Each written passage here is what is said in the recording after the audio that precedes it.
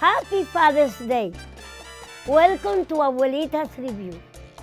Today we review Famous Dad. Felicidades en el Día del Padre.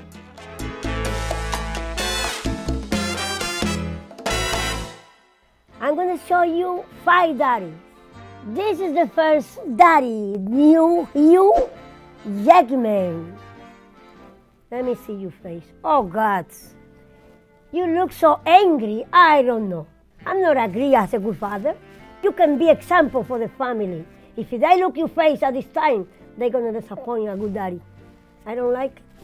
I'm sorry. This is the second daddy. Let me see. Jack Black. Oh, how nice. He's a funny daddy. He showed to his kids happiness.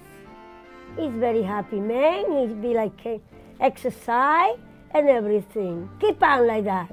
That way your kids make it happy themselves. Mr. Jack Black. This is number three.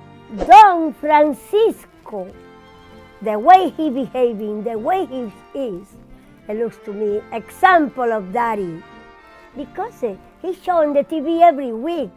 You're a good daddy, Don Francisco, believe me. God bless you. This is the next daddy. This is Bowie. My, you keep thinking you be in Halloween. Because this is looking like a daddy. Halloween daddy. You kids follow you, they're gonna be happy. Being Halloween. That's it. No more. And daddy number five. Travis Barker. Uh-uh. You're not example of daddy. How do you show to your kids those kind of things, all the body? Look at that. It's not example of daddy. I'm sorry, no good.